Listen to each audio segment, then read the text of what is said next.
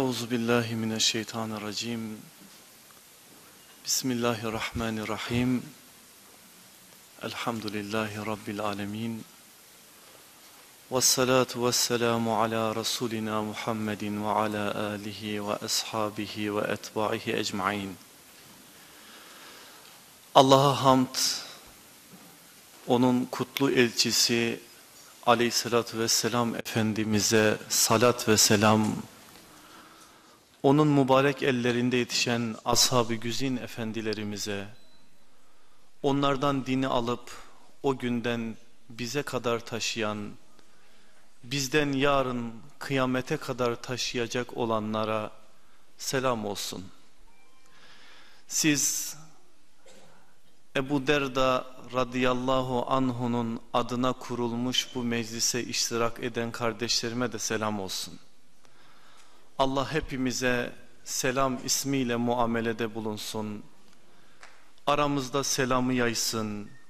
Selam da darus selam olan cennetin kapılarını inşallah bizlere açsın. Aziz kardeşlerim, dinin intikal ve muhafazasında sahabenin yerinin neresi olduğunu elhamdülillah bilen insanlarız. Onlardan bir yiğidi, bir güzide insanı bu gece anlamaya çalışacağız.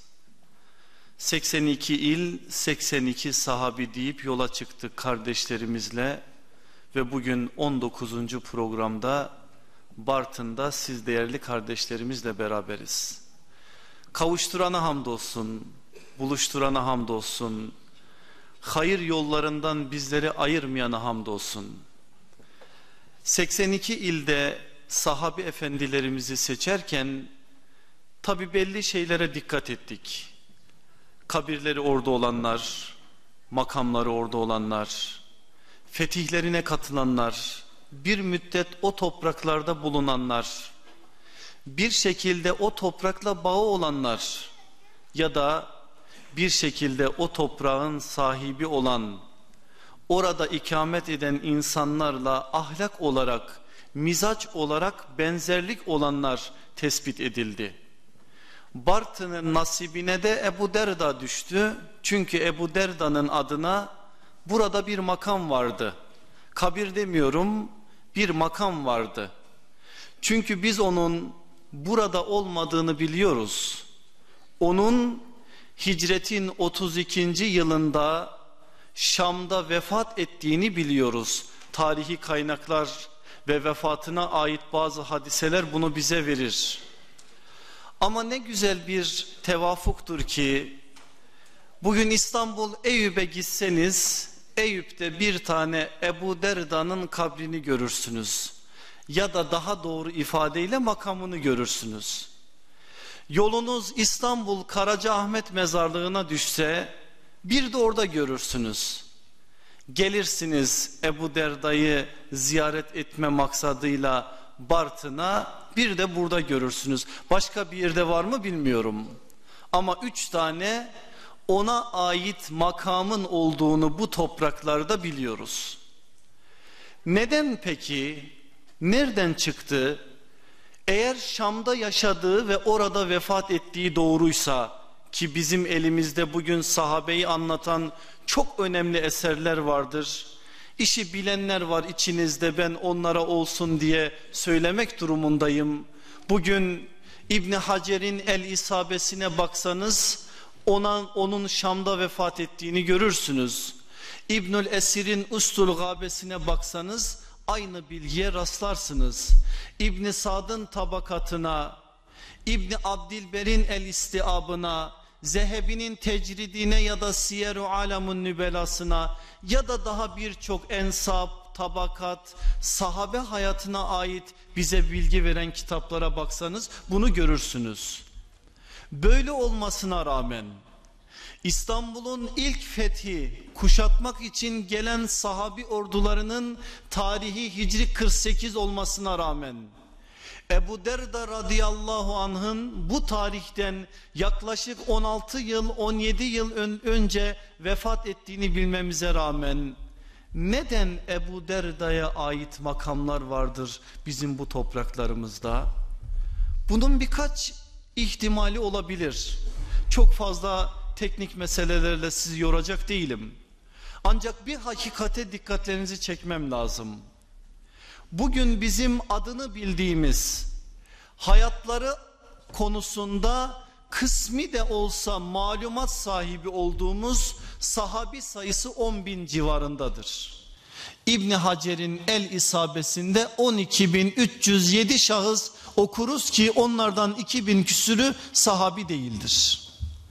10 bin sahabi adını bildiğimiz hayatlarına dair de bilgiler okuduğumuz. Ama bir bilgi daha biliyoruz. Aleyhissalatü vesselam Efendimiz'i son veda haccında Mina'da, Müzdelife'de, Arafat'ta dinleyen sahabi sayısı yüz bini aşkındı değil mi? Ebu Razi'nin verdiği rakam 124 bindir. 124 bin sahabinin o hutbeyi dinlediklerini biliyoruz. Peki biz 10 bininin ismini biliyoruz. O 10 binin içerisinde bir miktarının hayatlarını biliyoruz. Diğerleri hakkında bir bilgimiz var mı? Hayır. Hiçbir bilgimiz yok. Ne isimlerini biliyoruz ne hayatlarını biliyoruz. Yaşadılar onlar, iman ettiler. İman ettikten sonra da yatmadılar bu çağın insanı gibi.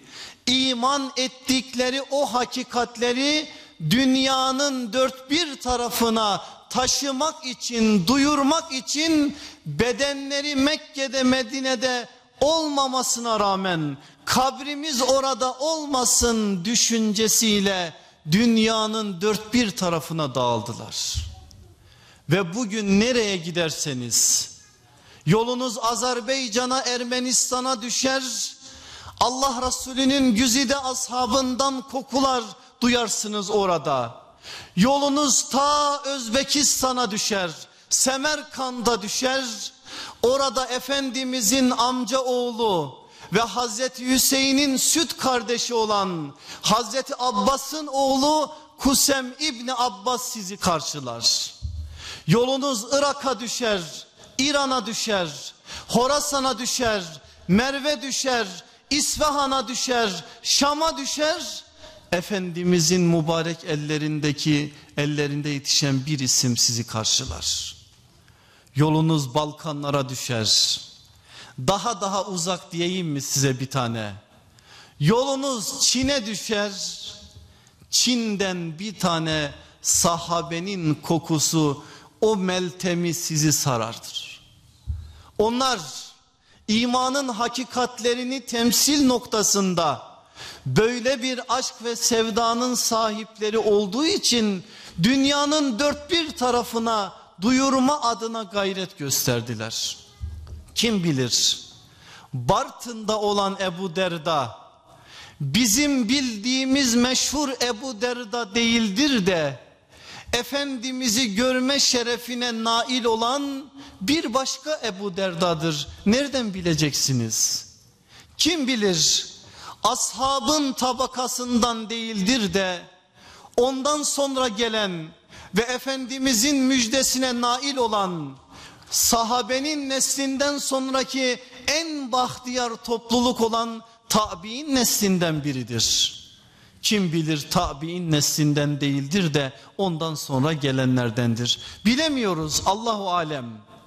Ama bildiğimiz bir hakikat var ki Bartın'da Ebu Derda'nın adı var. Adı var değil mi Bartınlılar? Var. O zaman gelin tadı da olsun. Bugün hayatına ait bir şeyleri ben dilim döndüğünce size anlatayım. Tadıyla tatlanalım. Ancak bir şey söyleyeceğim. Başta onu bir kere ittifak sağlayalım onda. Tat her zaman tatlı da değildir. Bazen acıda da tat vardır. Belki söyleyeceğim bazı şeyler size acı gelecek. Belki sarsacak bizi. Belki uykularımız kaçacak. Keşke becerebilsem de uykularınızı kaçıracak şeyleri söyleyebilsem. Keşke becerebilsem de onun hayatından o tabloları aktarabilsem size. Rahatsız edebilsem sizi. Biraz zihinlerinizi, akıllarınızı, yüreklerinizi şu dünyaya daldığımız ki ben de bunun dışında değilim. Bu sözleri en başta nefsime söylüyorum. Dünyaya daldığımız şu halden bir kurtarabilsem, bir kurtarabilsek. Allah hakkı söylesin, hakikati söylesin, sizi de hakikate müşteri etsin. Sizi rahatsız edecek bir söz. Onun sözü. Bilmeyene bir kez yazıklar olsun. Bilip de yapmayana yedi kez yazıklar olsun. Ebu Derda'nın sözü bu. Bilmeyene bir kez yazıklar olsun. Ama bilip de yapmayana yedi kez. Siz o yediği çokluktan mecaz olarak anlayın. Yetmiş kez anlayın. Ne anlarsanız anlayın. Yazıklar olsun bilip de yapmayana diye anlayın. Bunu söyleyen bir sözün sahibi Ebu Derda. Ve biz bugün onun hayatı adına kurduğumuz şu mecliste sadece tarihi malumatlar değil, hayatımıza yön verecek bazı hakikatleri anlama, kavrama, yazıklar olsun muhatabına, yazıklar olsun hitabına muhatap olmama adına bir şeyler yapmak için inşallah burada olacağız. Asıl adı Amr ya da Üveymir. İki rivayet var bu konuda. Ama Ebu Derda künyesi o kadar meşhur olmuştur ki ismi unutulmuştur. Derda büyük kızının adıdır. Ebu Derda Derda'nın babası biliyorsunuz. Araplarda künye çok meşhur olduğu için o künyeyle anılır. Doğum tarihini çok iyi bilmiyoruz. Ancak akran olduğu, yaşıt olduğu bir sahabinin üzerinden kıyas ederek yaşını ve doğum tarihini tespit edebiliyoruz. Biraz sonra size dostluklar, dostluklarına ait bir şeyler anlatacağım. Peygamber aleyhissalatü vesselamın güzide ashabından biri, şair, aşk sahibi, sevda timsali bir insan Abdullah İbni Revaha onunla çok yakın arkadaş ve yaşıt. Abdullah İbni Revaha'nın doğum tarihi takriben 587-590 o da o yaşlarda. O yaşlardaysa eğer aleyhissalatü vesselam Efendimiz miladi 610'da Mekke'de söz söylemeye başladığında Ebu Derda 20-22 yaşlarında bir delikanlı. Efendimiz Medine'ye hicret ettiği zamanlar Ebu Derda 32-35 yaşlarında delikanlılıktan orgu, olgunluğa doğru yürüyen bir tüccar. Bir tüccar o. Nasıl bir tüccar? Medine'nin en iyi koku satan dükkanının sahibi. Bir mağazası var ki Yemen'den, Hindistan'dan, şuradan buradan kokular getirir ve herkes ondan koku almak için dükkanının önünde adeta sıraya girer. Dürüst bir tüccar ve işini çok seven biri. Öyle ki ticaretten başka gözü bir şey görmüyor. Şimdi bizim içimizde de öyleleri var. Ticaretten başka gözü bir şey görmeyen Ebu Derda da o günler öyle biri.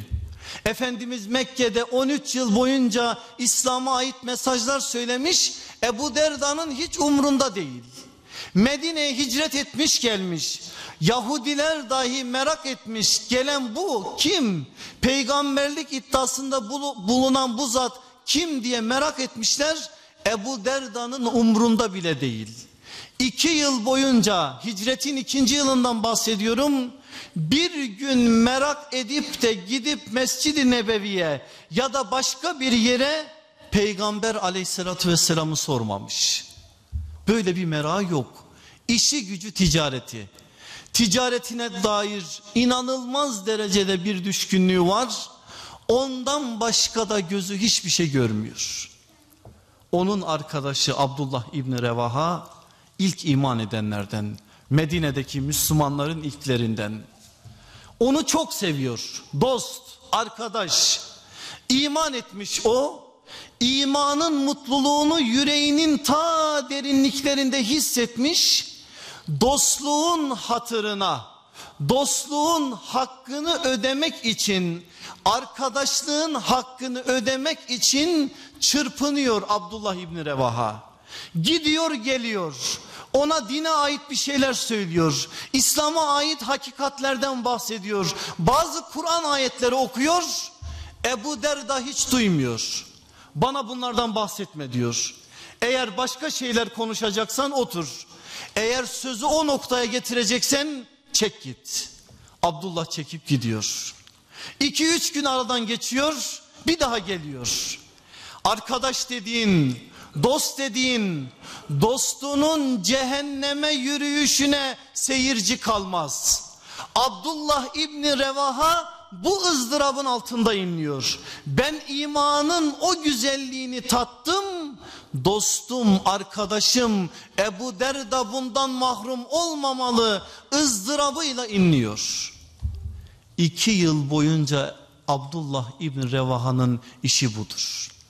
Varıyor evine, varıyor dükkanına. Bir şeyler söyleniyor, söylüyor, kovalanıyor, kötü sözler işitiyor ama gitmekten hiçbir zaman geri durmuyor.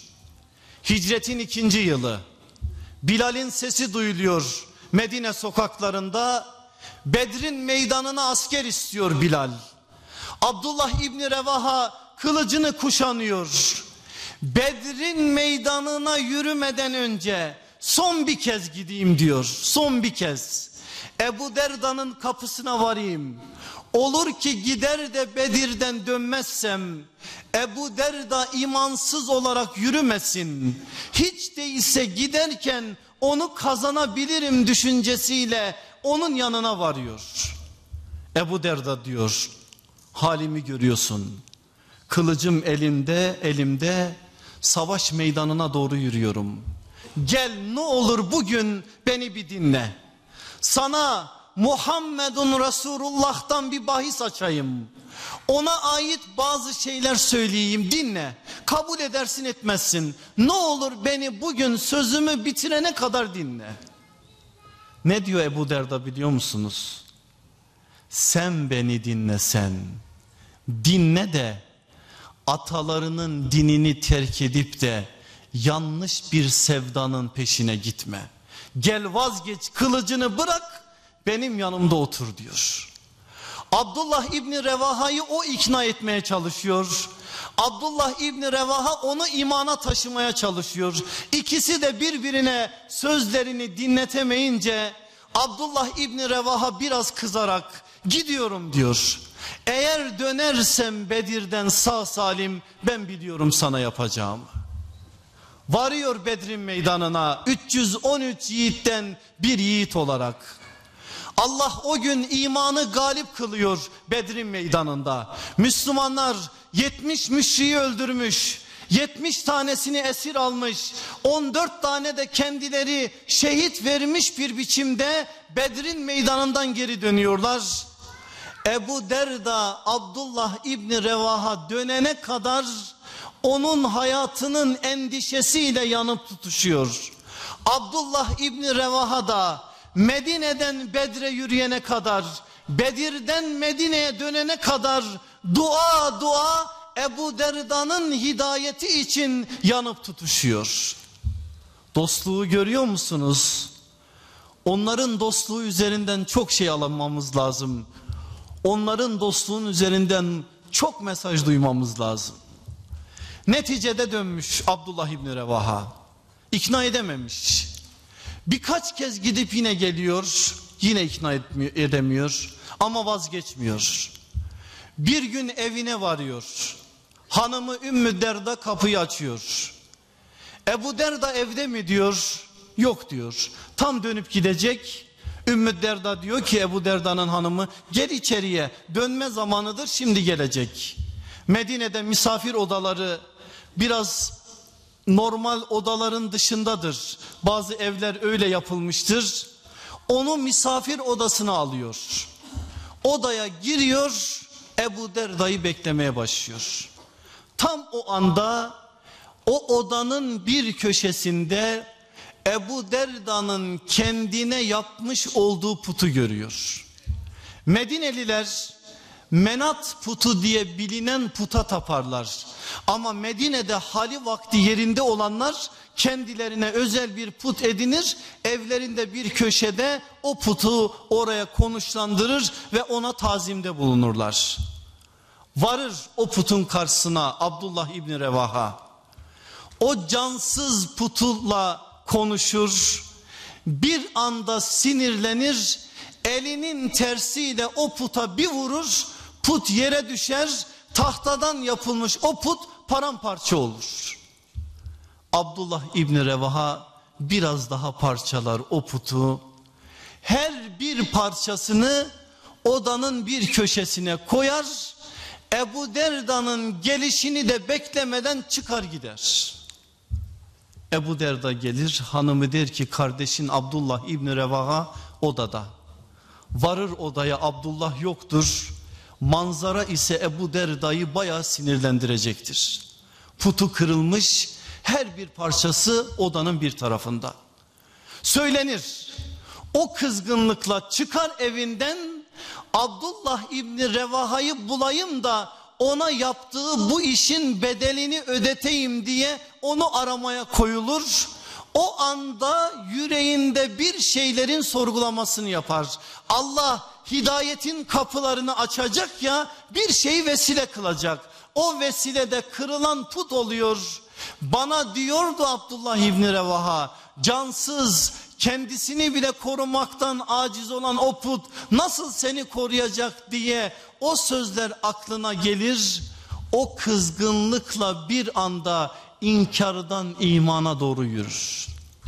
Abdullah İbni Revaha'yı bulduğu zaman söylediği söz nedir biliyor musunuz? Sen aklıymışsın Abdullah. Ve orada La ilahe illallah Muhammedun Resulullah cümlesi Ebu Derda'nın dilinden dökülür. Sarılır Abdullah İbni Revaha kardeşi Ebu Derda'ya. Asıl şimdi benim kardeşim oldun der. Şimdiye kadar dostumdun, arkadaşımdın, şimdi iman yolunda benim kardeşim oldun der. Onu bağrına basar, tutar elinden Efendimiz Aleyhisselatü Vesselam'ın huzuruna getirir. Efendimizle tanıştırır. İmana ait cümle bir kez daha Ebu Derda'nın dilinden orada huzuru risalette aleyhissalatü vesselam Efendimiz'e karşı okunur. Efendimiz onu tebrik eder.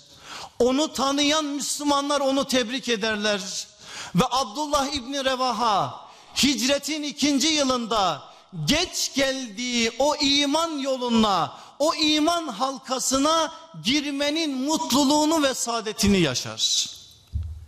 İmana ait hakikatleri öğrenir. Suffa Mektebi'nin en gözde talebelerinden biri olur. Bedir'den bir yıl sonra Uhud gazvesine katılır ve Uhud gazvesinde Allah Resulü aleyhissalatü vesselamı savunan yiğitlerden biri olarak orada durur. Hatta o gün Efendimiz ona hitaben şunu söyleyecektir. Üveymir adıyla Üveymir ne de güzel bir süvari, süvaridir diyecektir. O öyle bir şey yapmış ki o gün Efendimiz'den bu cümleyi duymuş. O günden sonra Ebu Derda'nın hayatına bir bakın. İlim yolunda o basamakları birer birer çıktığını görürsünüz. Hicretin dördüncü ya da beşinci yılı para basan ticareti tabir caizse o dükkanını kapatma kararı alır. Akrabaları duyunca engel olmaya çalışırlar. Niçin ticaretten yüz çeviriyorsun? Bak bir sürü tüccar sahabi var. Müslüman oldular diye ticaretten vaz mı geçecekler? Sen de onlardan biri ya ol. Hem ticaretini yap hem de İslam'a ait hakikatleri yaşa. Elinden geldiğince onları yerine getir. Şunu diyecek Ebu Derda. Ben size ticaretin haram olduğunu söylemiyorum. Böyle bir söz söylemeye de hakkım yok. Ama bir gönülde iki sevda olmuyor. Ben Allah Resulü'nün mübarek ellerinde bir talebe olmak istiyorum. İlimde seviye kazanmak istiyorum. O ilimde farklı bir noktaya gelmek istiyorum. Ama yüreğimdeki ticaret sevdası buna engel olacak. Birini birine feda etmeliyim. O halde benim feda edeceğim şey para kazandığım, gerçekten ticaretinden memnun olduğum bu iş olmalı. Zarar edip iflas edip de ilim yoluna girmiyor dostlar. Dikkat edin. Büyük bir şeyi feda ediyor. Daha büyük bir şeyi elde etmek için. Feda ediyor ticaretini. O günden sonra Ebu Derda Suffa Mektebi'nin en gözde talebelerindendir. Çok değil 3-5 sene sonra Efendimiz aleyhissalatü vesselam onun hakkında ne diyecek biliyor musunuz? Ümmetimin en abidi, en müttakisi, en hakimi Ebu Derda'dır. Üç ifadeye ne olur dikkat edin. En abidi, en müttakisi, en hakimi Ebu Derda'dır. İlimde öyle bir seviyeye gelir ki şöyle bir tabir kullansam inşallah beni mazur görürsünüz. Sahabenin içerisinde olup da çoğu kez başkalarını beğenmeyen bir sahabi olan Ebu Zer el-Gifari onun hakkında şunu diyecek. Ne yer ne gök Ebu Derda'dan daha alimini görmedi. Eğer bunu Ebu Zer Gıfari diyorsa üzerinde biraz düşünmemiz lazım. Onun bir benzerini başka bir sahabi bu sözün bir benzerini kendisi de alim olan başka bir sahabi Abdullah İbni Amr İbnil As radıyallahu anhuma Allah ondan da babasından da ebeden razı olsun şöyle ifade edecek. Bana öyle birinden hadis nakledin ki hem alim olsun hem amil olsun. Kim diyecekler? İki isim söyleyecek. Muaz İbni Cebel, Ebu Derda. İki sahabinin itirafından siz nasıl bir ilim elde ettiğini kıyas edin. İnanılmaz derecede bir ilmin sahibi. Öyle ki aleyhissalatü vesselam efendimize o ana kadar nazil olmuş bütün ayetleri ezberlemiş. O günden sonra nazil olanları da ezberleyecek. Efendimiz vefat etmeye yakın nasıl ki aleyhissalatü vesselam Efendimiz arzayı ahira dediğimiz son mukabelede inen ayetleri Cebrail'e iki kez okumuşsa ashabın içerisinde de Kur'an'ı ezberleyip de arzını peygambere yapan 3-5 tane sahabi vardır. Onlardan bir tanesi de Ebu Derda olacaktır. İlimde böyle bir noktada. Ya ibadette zirveleri zorlayan bir noktada. Bakın dostlar gidin eve şöyle bir tefsir kitaplarını açın. Sebebi nüzul kitaplarına bakın. Ahzab suresinin 21. ayetinin ne hakkında indiğini şöyle bir araştırın. O ayette Rabbimiz der ki لَقَدْ كَانَ لَكُمْ ف۪ي رَسُولِ اللّٰهِ اُسْوَةٌ حَسَنَةٌ لِمَنْ كَانَ يَرْجُ اللّٰهَ وَالْيَوْمَ الْآخِرِ وَذَكَرَ اللّٰهَ كَثِيرًا Allah'a kavuşmayı umanlar ve ahiret gününe kavuşmayı umanlar için muhakkak Allah Resulü'nde güzel bir örneklik vardır. Bu ayet iniş sebebi olarak anlatılan hadise şudur. Başta Ebu Derda olmak üzere Osman bin Mazun, Abdullah İbni Amr, Abdullah İbni Ömer ve onlar gibi 3-5 sahabi ibadet konusunda öyle bir noktaya geldiler ki geceleri sabahlara kadar uyumaz bir hale geldiler.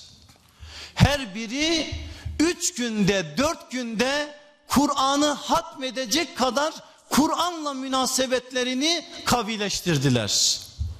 Öyle bir noktaya geldiler ki oruçsuz hiç günleri geçmedi. Öyle bir noktaya geldiler ki çoğu hanımını ihmal edecek bir seviyeye geldi. Aleyhissalatü vesselam Efendimiz bunları çağırdı. Ben sizin için güzel bir örnek değil miyim dedi. Bakın ben geceleri hem Rabbimle baş başa olurum hem uyurum. Hem hanımımla beraber olurum hem Rabbimin huzurunda el pençe divan durur ona kulluğumu yerine getiririm. Hem oruç tutarım hem iftar ederim. Unutmayın her hak sahibinin sizde hakkı vardır. O hakları yerine getirin. Bu cümlenin altını çizin. En sonda bu cümleyle işimiz var. Her hak sahibine hakkını verin. Her hak sahibinin sizde hakkı vardır. O hakları yerine getirin. Ayet nazil oluyor bu hadise hakkında ve Efendimiz bu ayeti okuyor ashab-ı kirama ve Ebu Derda'ya onları tabir caiz ise eğer hizaya çekiyor. Tabir caiz ise eğer itidal çizgisine davet ediyor. Burada bir parantez açacağım. Kendimizle ashabın halini kıyas etme adına bir şey söyleyeceğim. Biz Ahzab suresinin 21. ayetini okurken nasıl okuruz? Bize nasıl etki eder o ayet biliyor musunuz? Şurada duruyoruz. İtidal çizgisi şurada. Ayet bizi alacak yukarıya doğru kaldırarak itidal çizgisine doğru çekecek. Ama aynı ayet başta Ebu Derda olmak üzere ashabtan bazılarına etkisi şöyleydi. İtidal çizgisi burada onlar şurada duruyor. Aynı ayet okunuyor gelin aşağıya doğru deyip onları çizgiye davet ediyor. Sahabe ile bizim aramızdaki farklardan bir tanesi. Biz yukarıdan aşağıdan yukarıya doğru zorlanırken sahabe yukarıdan aşağıya doğru zorlanıyor. Ve iki taraf da itidal çizgisine çağrılıyor. Efendimiz aleyhissalatü vesselam bu ayeti ve bu uyarıları yaptıktan sonra Ebu Derda ve onun gibi ashabtan bazıları itidal çizgisinde hareket etmeye çalışmışlardır. Bazen o çizgiyi ihmal edilince sahabe birbirini uyarmıştır. Bakın geç geldi dedim Ebu Derda. Hicretin ikinci yılında Müslüman oldu. Ensar muhacir kardeşliği biliyorsunuz Mescid-i Nebevi inşa edildikten 6 ay sonra oldu. Selman-ı Farisi de geç gelenlerden biriydi. Efendimiz iki tane geç geleni birbiriyle kardeş kıldı. Ensar muhacir kardeşliğinde Ebu Derda'nın nasibine düşen isim Selman-ı Farisi'dir. İkisi birbirine bazen fren olmuşlardır bu konuda biliyor musunuz? İkisi de bazen itidal çizgisini zorladıklarında aman kardeşim Resulullah'ın dediğini unutma çizgimiz burası olmalı. Her hak sahibine hakkını vermeliyiz deyip birbirlerini o çizgiye davet etmişlerdir. Böyle bir halde yetişmiş, böyle bir halde iman yolunda yürümüş Ebu Derda. Aleyhissalatü vesselam Efendimiz ondan razı olarak vefat etmiş.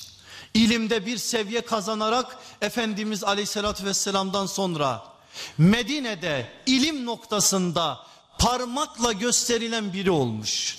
Hazreti Ebu Bekir döneminde Yermuk Savaşı'na katılacağı zaman Hazreti Ebu Bekir onu çağırmış. Sen ümmetin hakimisin. Efendimiz sana böyle dedi. Ben seni adil cunt diye atıyorum dedi ordu kadısı diye atıyorum diyerek orduların imamı olarak onu belirlemiş. Kadil Cunt o günden sonra İslam ordularının içerisinde tutacakları bir görev olacak. Osmanlı'da o görevin adı kazasker diye değişecek. Mahiyet farkları biraz farklı olsa da birbirlerine yakındır. Hazreti Ebu Bekir döneminde böyle, Hazreti Ömer döneminde birkaç savaşta böyle. Hazreti Ömer dönemi Hazreti Ömer huzuruna çağırıyor. Seni diyor Şam'a amil olarak, görevli olarak göndereceğim. Bir rivayete göre vali olarak göndereceğim. Böyle bir görev teklifinde bulununca emir el müminin olan Hazreti Ömer Ebu Derda sevinmiş midir? Hayır. Ebu Derda da ashabın birçokları gibi insanları yönetme işinin büyük bir sorumluluk olduğunun bilincinde olarak bu işi kurban olma olarak görmüşler ve öyle algılamışlardır. Onun için de böyle bir teklif ona yapılınca sevinmemiş, bilakis üzülmüştür. Ey emir el müminin demiş, emrin başın üstüne itiraz edecek değilim ama sana bir sözüm var ne olur beni dinle. Eğer beni Şam'a bir görev ile göndereceksen ne olur beni devlet işlerinde görevli olarak gönderme. Beni bir alim olarak gönder. Gideyim Şam'a insanlara Allah'ın kitabını, peygamberin sünnetini anlatayım. Onları anlatarak insanlara İslami anlamda bir bilinç kazandırayım. Israr etmiş, Hazreti Ömer de ısrar etmiş. En sonda Hazreti Ömer onun görüşünü kabul etmiş, git demiş. Göndermiş. Tarihler o gün hicretin 20. yılına yakındır. Varıp gelmiş Şam'a. Şam'a gelir gelmez Ebu Derda sarsılmış. İnsanlarda müthiş bir dünyaya karşı meyil var. İnsanlarda müthiş bir ticarete, başka şeylere karşı bir meyil var. Allah'ın kitabına, peygamberin sünnetine, İslam'a ait değerlere karşı inanılmaz derecede bir çözülme var. Hemen münadiler çıkarmış Şam'ın sokaklarına. Allah Resulü'nün ashabından Ebu Derda Medine'den bugün Şam'a geldi size bir hutbe irade edecek diye insanları mescide toplamış. Emevi mescidi ki Şam'ın en büyük mescididir. Binlerce insan Resulullah'ın ashabından birini görmek için oraya toplanmışlar. Çıkmış. Bugün onun orada verdiği hutbe elimizde kaynaklarda mevcuttur. Yaklaşık bir sayfalık hutbe hepsini size söyleyecek değilim ama birkaç şey söyleyeceğim. Allah'a hamd Resulüne salat ve selamdan sonra ahireti hatırlatarak sözlerine başlamış. Nedir bu haliniz? Bu kadar dünyaya dalmanız sizin akıbetinizin nereye getireceğini, akıbetinizin nereye varacağı konusunda sizleri endişelendirmiyor mu diyecek. Unutmayın ölüm var.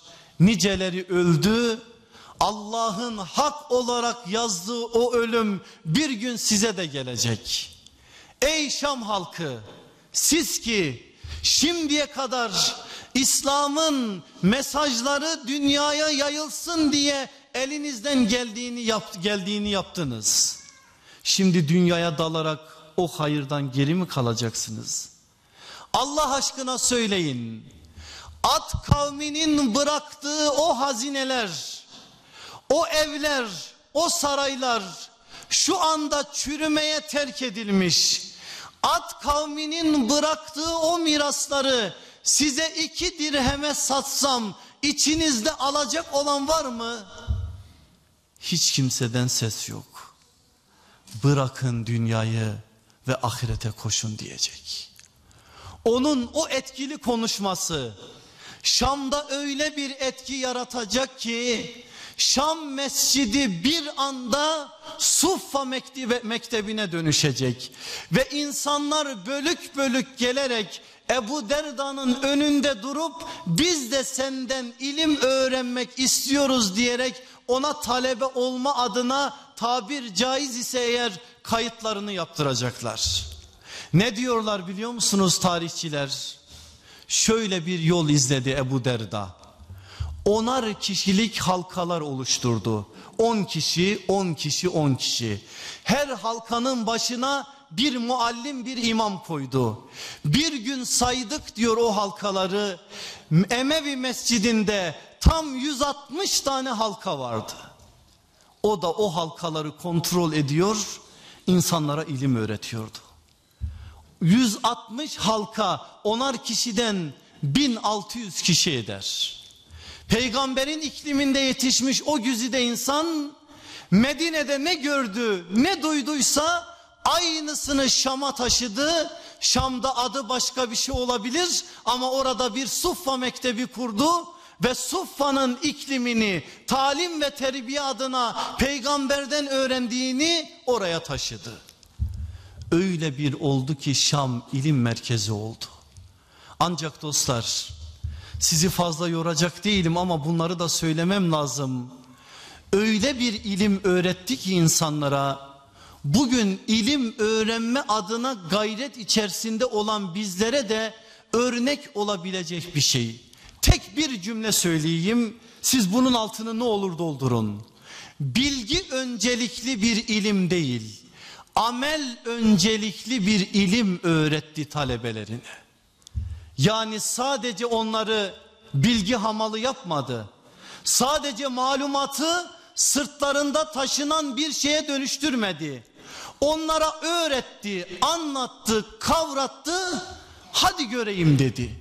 Öğrendin, şimdi sahada uygula. Yaşa bunları. Yaşa ki öğrendiğin o ilim ilim olsun. Yaşamazsan o ilim değil. O başka bir şey. Bunun içinde amel öncelikli bir ilim adına gayret gösterdi. Onlarca örnek söylenebilir. Onlardan bir tanesi.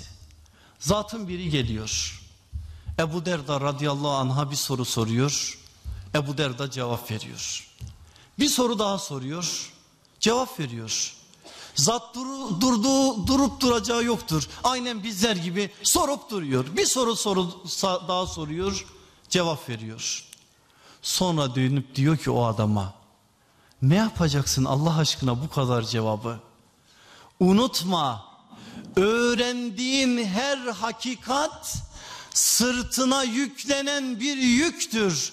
Yarın Allah öğrendiğin halde yaşamazsan eğer aleyhinde bir şey olarak bunu işletecek. Niye aleyhine delilleri çoğaltıyorsun? Öğrendin bu şeyi var git yaşa onu hayatına taşı gel yeni bir şey daha öğren. Sen yaşamadan niye öğreniyorsun? Bugün bu sözler bize çok şey söyler değil mi? Bilgiye o kadar kolay erişebiliyoruz ki Bilgi o kadar kolay erişilebilmiş bir erişilebilecek bir şey olmuş ki ama bunca şeye rağmen bunca bilgiye rağmen ne kadar hayatlarımızda o bilgi yer ediniyor hepiniz sorgusunu yapın. Bugün bizler birçoğumuz ashab-ı kiram efendilerimizden daha fazla şey biliyoruz. Peki onlar kadar yaşayan kaç tane baba yiğit var içimizde? Bir örnek vereyim size. Halid bin Velid Allah'ın kılıcıydı. Seyfullah lakabının sahibiydi. O Halid desem ki size bizim namaz süreleri diye bildiğimiz elem teradan aşağısı deriz ya ondan aşağısına ait 3-5 süreyi bile ezbere bilmiyordu. İnanır mısınız bana? İnanın Fatiha'yı bile okuyamıyordu. Geçti bir gün zorla geçirdiler imamete. Sen ki Resulullah'ın ashabısın bu ordunun komutanısın sen geç bize namaz kıldır dediler. Halit istemeye istemeye geçti. Okudu bildiği kadarıyla namaz bitti gençlerden bazıları gülmeye başladılar.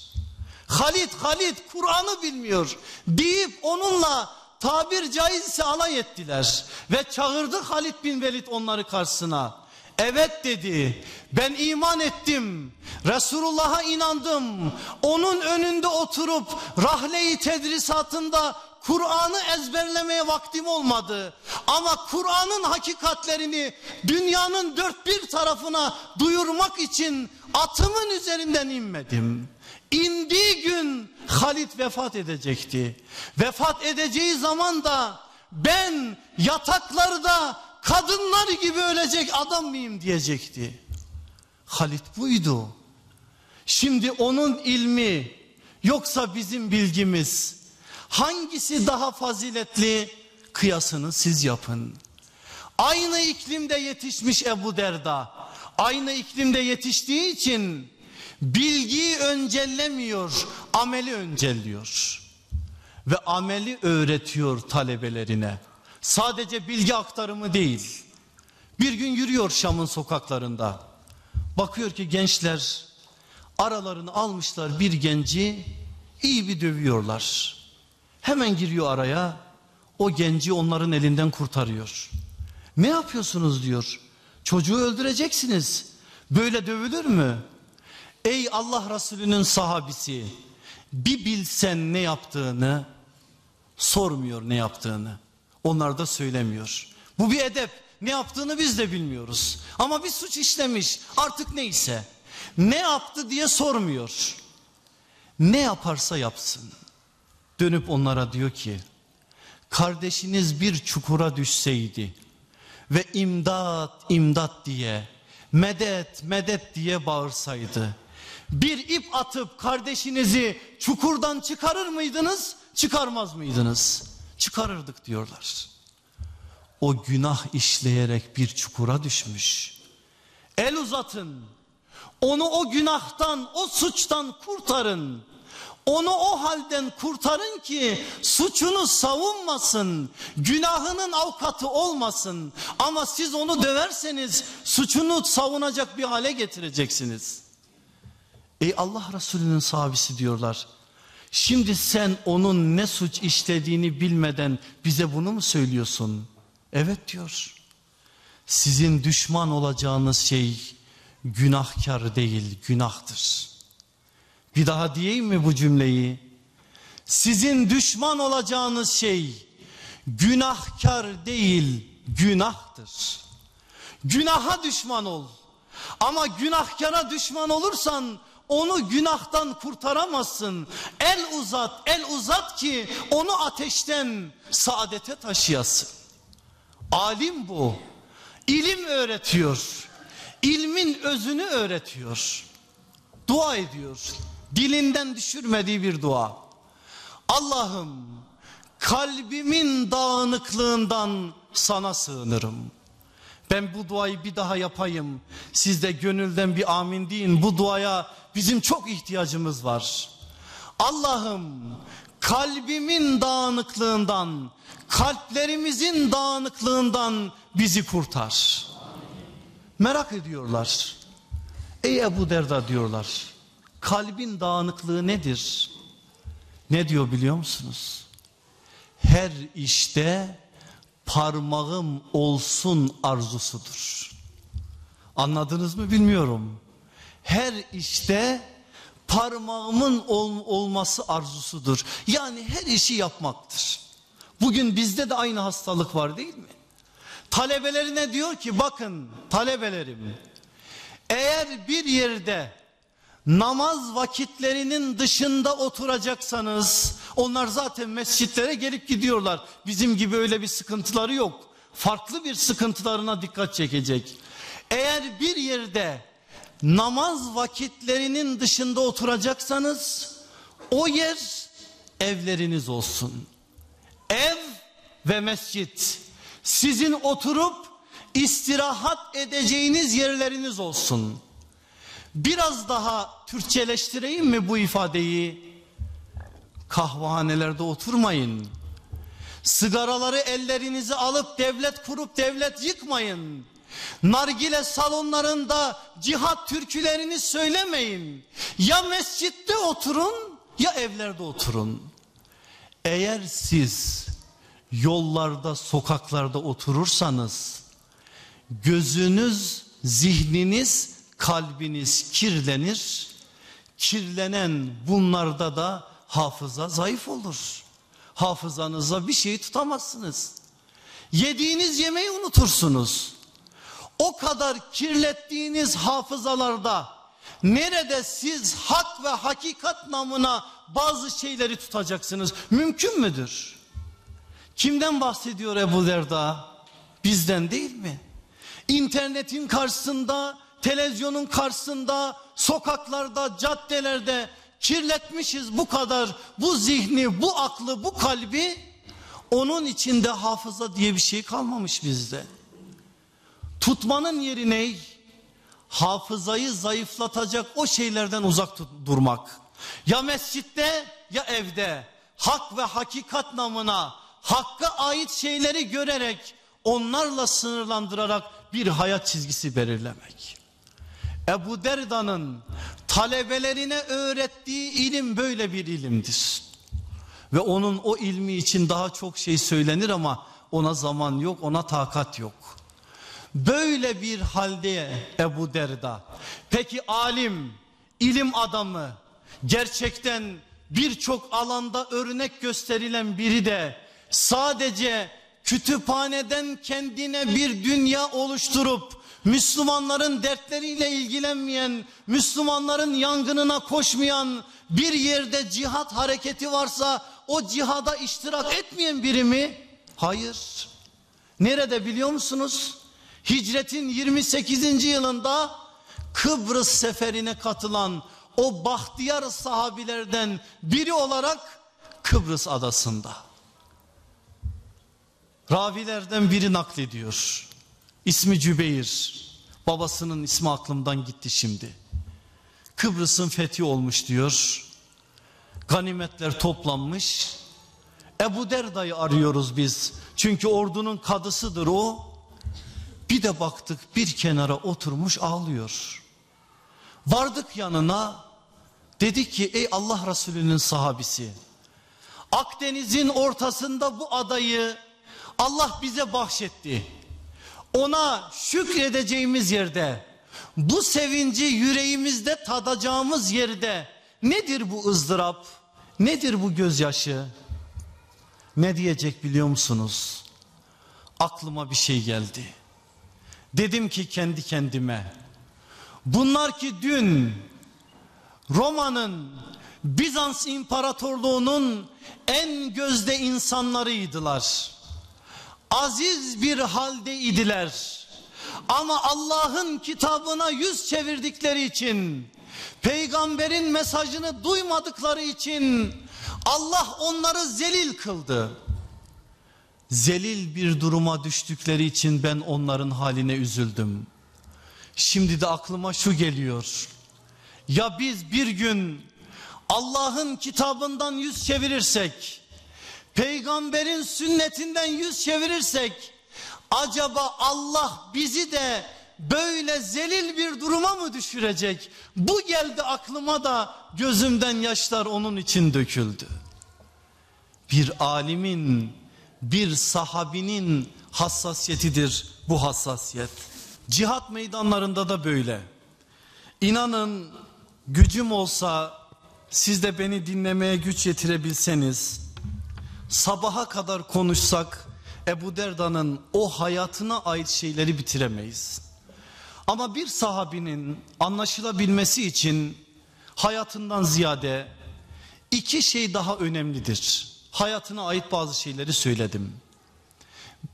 Birincisi o iki şeyden biri Resulullah sallallahu aleyhi ve sellem'den naklettiği hadisler. İkincisi ise kendi sözleridir. Aslında kendi sözlerine ait bir şeyler söyledim. Şimdi ben Ebu Derda'nın Efendimiz aleyhissalatü vesselam'dan rivayet ettiği 179 tane hadisten sadece iki tanesini nakledeceğim size. Ve iki tane de onun sözlerine ait sözleri nakledeceğim. Sonra da sözü alacağımız mesajlara getireceğim. Peygamber aleyhisselamdan naklettiği hadisler onun şahsiyetinin anahtar kavramlarını da bize öğreten ilkelerdir. Ne diyor o hadislerden birinde? Tirmizi'de geçen bir rivayet. Efendimiz aleyhissalatü vesselam buyuruyor ki kıyamet günü insanın mizanında ağır basan en önemli şey güzel ahlaktır. Bugün hayatlarımızdan çıkardığımız bir hakikate Efendimiz aleyhissalatü vesselam işaret etti. Ebu Derda da o nebevi hakikati bize yansıttı. Kıyamet günü insanın mizanında ağır basan en önemli şey güzel ahlaktır. Tirmizi'de geçen başka bir rivayette Efendimiz şöyle buyuracak. Kim bir mümin kardeşinin aleyhinde konuşulduğu bir yerde o mümin kardeşinin şerefini ve haysiyetini savunursa Allah da kıyamet günü o müminin şerefini ve haysiyetini savunur. Efendimizin hayatlarımıza ilke olacak bir hakikati bu. Bir müminin aleyhinde onun şerefine ve haysiyetine dil uzatıldığı zaman dinlemeyip sessiz kalmayıp o mümin kardeşini savunana Allah böyle bir savunmayı vaat ediyor. Bu müjdeyi, bu önemli mesajı Efendimiz Aleyhisselatü Vesselam bize beyan ediyor. Ebu Derda da bu sözü bize naklediyor. Onun kendi sözlerinden biri şu.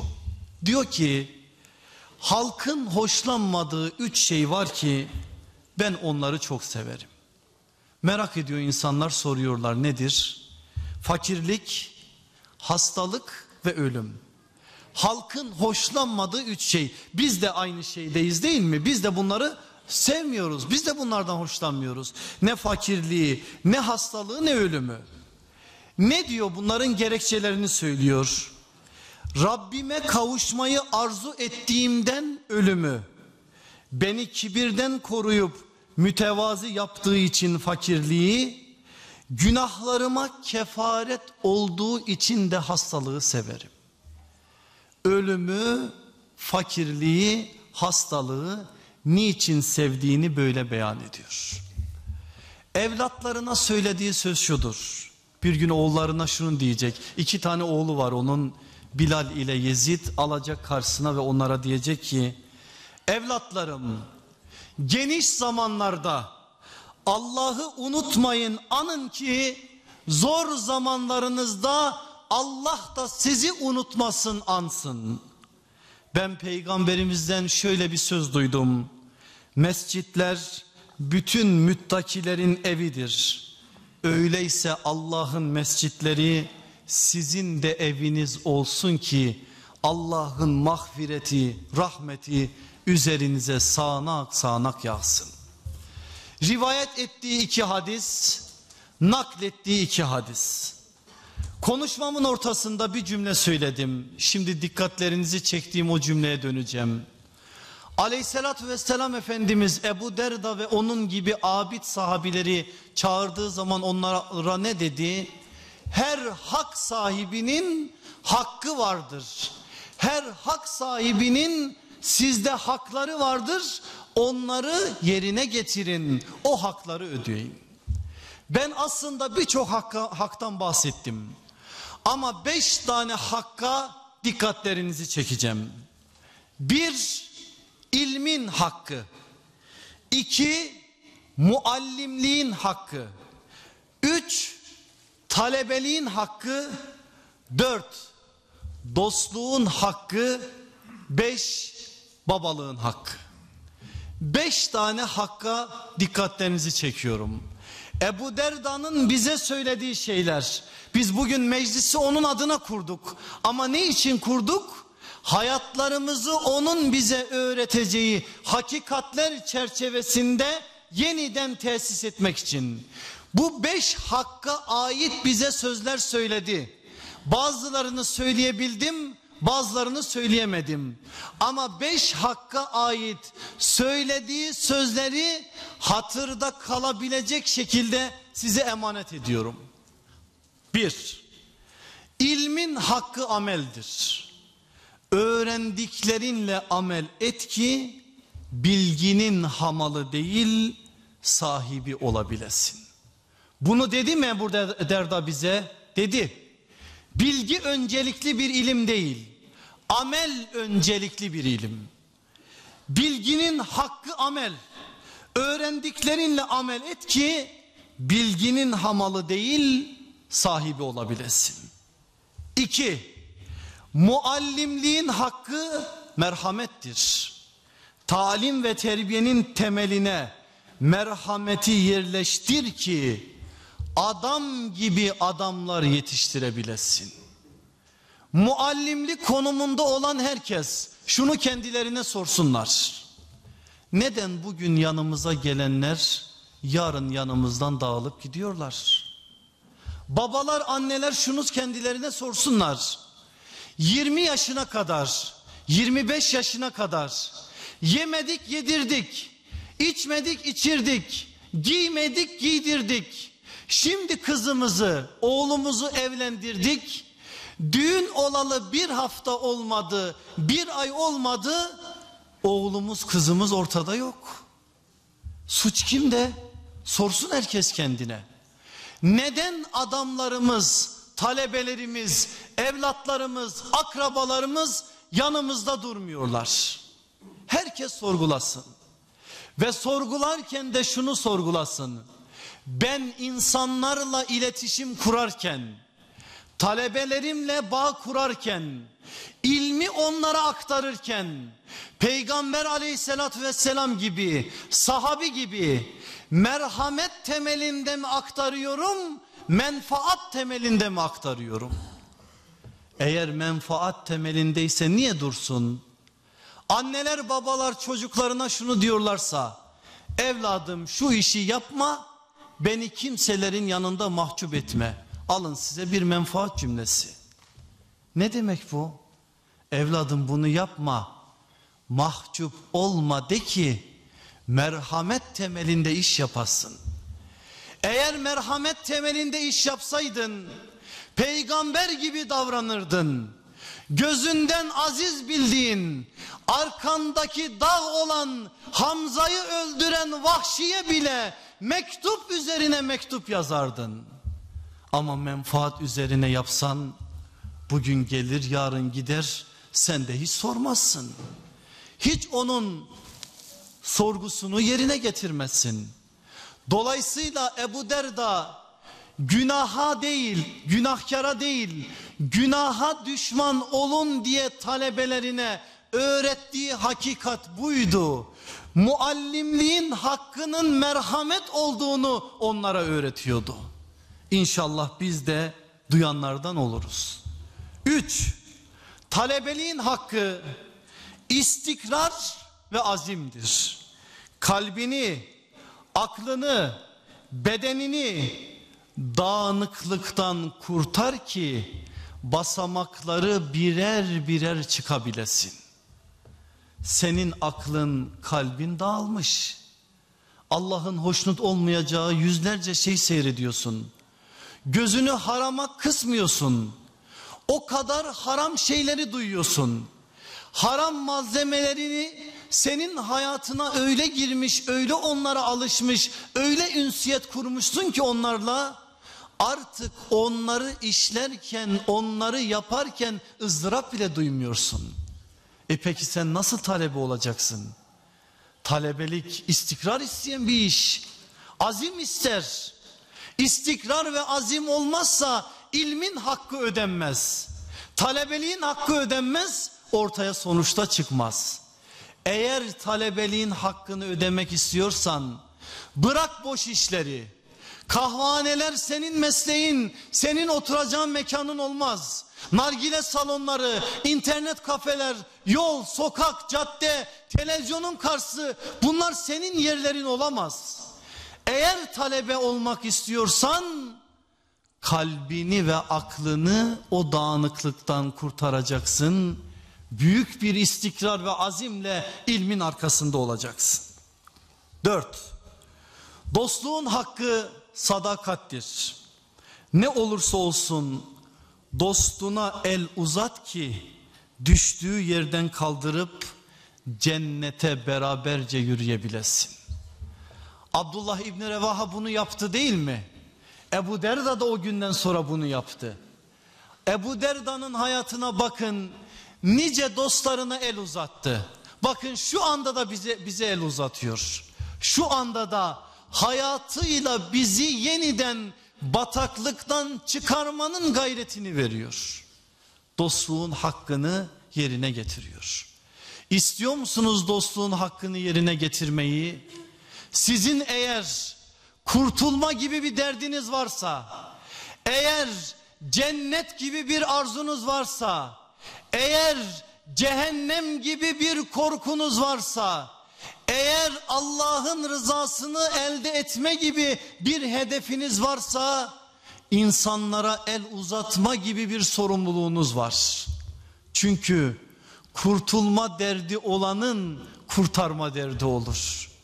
Derdiniz kurtulmak olduğu zaman başkalarına el uzatacaksınız. Başkalarını da oradan kurtarma adına gayret göstereceksiniz. Dostluğun da, arkadaşlığın da, kardeşliğin de hakkı budur. Beşincisi, babalığın hakkı.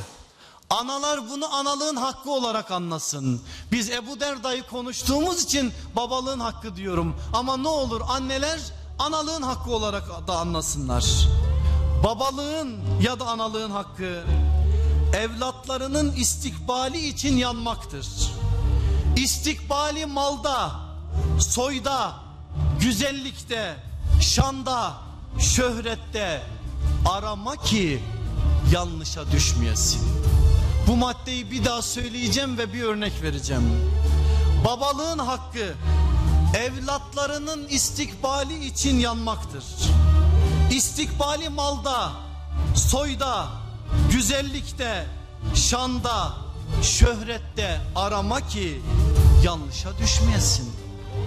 Nereden söylüyorum bunu? Ebu Derda'nın künyesinin sebebi Derda isimli kızıdır.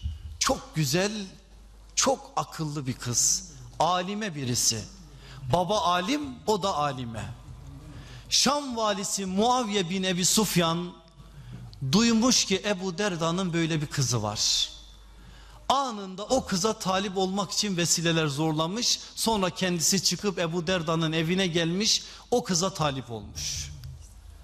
Ebu Derda yok demiş. Muaviye bin Ebi Sufyan gitmiş. Aradan bir müddet sonra bir daha gelmiş. Anlamış ki Ebu Derda Muaviye gidip gelecek. Hemen fakir ama salih olan bir talebesini çağırmış, kızını ona vermiş. Muaviye gelip bir daha kıza talip olunca verdim demiş. İnsanlar Ebu Derda'nın bu haline merak etmişler ve sormuşlar. Niye bunu yaptın? Derdi şu.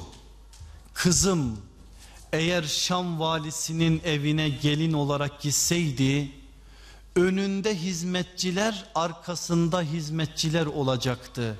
Dünyasını kazanacaktı ama belki ahiretini kaybedecekti. Varsın bu dünyada önünde arkasında hizmetçiler olmasın ama dünyasını kaybedip ahiretini kazansın. Alın istikbal için yanan bir babanın feryadı. Oğlumuzu kızımızı evlendirirken kızımıza talip olarak gelenlere 40 tane şeye bakıp da namazına en namazını en sona koyan babaların kulakları çınlasın. Bir namaz vaktinde zile basıp kızını istemeye gelene kapıyı açan babaların kulakları çınlasın. Ağır şeyler söyleyeceğim. Daha ağırını da söyleyeceğim ama ne ben tartabilirim ne siz tartabilirsiniz. Bunların altında biz eziliyoruz, ezilmeye de devam ediyoruz. Ama ızdırabımız bu. Bugün istikbal deyince insanlar 40 tane şey hatırlıyorlar. Diploma bir istikbaldir. Kariyer bir istikbaldir. ilim bir istikbaldir. Mevki bir istikbaldir. Makam bir istikbaldir. Ahiret en sondadır. Ama Ebu Derda bize onu öğretiyor. En öne ahireti al. Ahireti al ki evlatlarının arkasından ağlamayasın, yanmayasın. Öte tarafta dizlerine vurup da ah ben nasıl bunu yaptım demeyesin. Yanasın. Onların ahireti için yanasın ki onları yakmayasın. Bize bunların hepsini söyledi. Bir ömür yaşadı Ebu Derda. Hicretin 32. yılı Şam'da vefat döşeğinde. Etrafında dostları ve hanımı Ümmü Derda. İki tane hanımı var. İkisinin de künyesi Ebu Derda. Ümmü Derda affedersiniz. İki tane oğlu var isimlerini söyledim. İki tane de kızı var. Biri Derda biri Nesibe. Hepsi etrafında. Dostlarından biri diyor ki ey Ebu Derda ne için bu ızdırap? Bir ızdırap ifadesi var. Neye yanıyorsun? Allah'a doğru yürüyeceksin. Neye yanıyorsun şu anda? Böyle bir hayatın sahibi ne demiş olabilir? Günahlarımdan o kadar şikayetçiyim ki. Allah'a vereceğim hesabın ızdırabı altındayım. Sana doktor çağıralım mı diyor. Beni yatağa düşüren bana şifa verebilir. Çağıracağınız doktor bana ne yapabilir ki? Bunu dediği anda hanımı Ümmü Derda, küçük hanımı, küçük Ümmü Derda açıyor ellerini. Allah'ım diyor. Bu dünyada Ebu Derda beni istedi, sen beni ona verdin. Ben de cennette onu senden istiyorum. Ne olur cennette onu bana ver. Seviniyor Ümmü Ebu Derda bu duaya. Hanımına dönüp diyor ki evlenme o zaman benden sonra cennette inşallah beraberiz. Ve kelime-i şehadeti getirerek bu dünyadan çekip gidiyor. Ravi anlatıyor. Diyor ki Ebu Derda vefat ettikten sonra Şam valisi Ümmü Derda'ya da talip oldu. Bir çuval dolusu altını mihir olarak Ümmü Derda'nın önüne koydu. Ümmü Derda ölene kadar evlenmedi. İnşallah cennettedir. Ebu Derda'nın yanındadır. Allah bizleri de onlardan eylesin.